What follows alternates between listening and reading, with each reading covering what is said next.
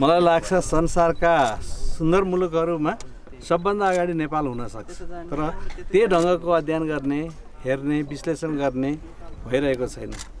अहिले महालक्ष्मी नगरपालिकाले यो क्षेत्रलाई एउटा पर्यटनको हिसाबले आकर्षक क्षेत्रको रूपबाट विकास गर्ने जे सुरुवात गरेको छ यो राष्ट्रकै हितको लागि अथवा राष्ट्रलाई नै आकर्षण गर्नको लागि राष्ट्रलाई समृद्ध बनाउनको लागि नेपाली जनता र नेपाली जातिहरूले गौरव गर्ने चिजको रूपबाट विकास गर्ने सुरुवात हो भन्ने मलाई लाग्छ।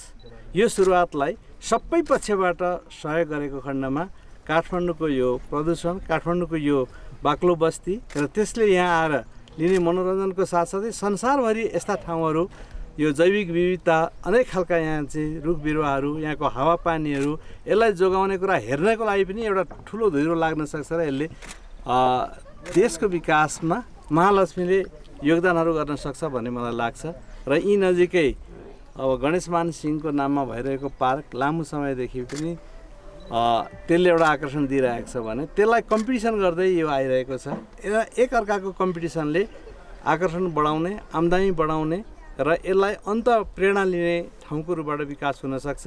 त्यसको लागि यहाँको मेयर साहबको मुख्य दायित्वको कुराहरू छ भनेदेखि प्रदेश सभाका मान्यज्यूहरू प्रतिनिधि सभाका मान्यज्यूहरू र यहाँको के अरे खास गरी लोकल जनसमुदायहरू त्यसमा पनि यो सामुदायिक वन वनका रक्षक जनताहरू अथवा वन समिति यी सबैले यसलाई चाहिँ त्यसरी लानुपर्छ। यसको लागि म आज हेर्न पाउँदाखेरि धेरै खुसी लागेको छ र यो आयोजना गर्नुभयो हेर्ने मौका दिनुभयो।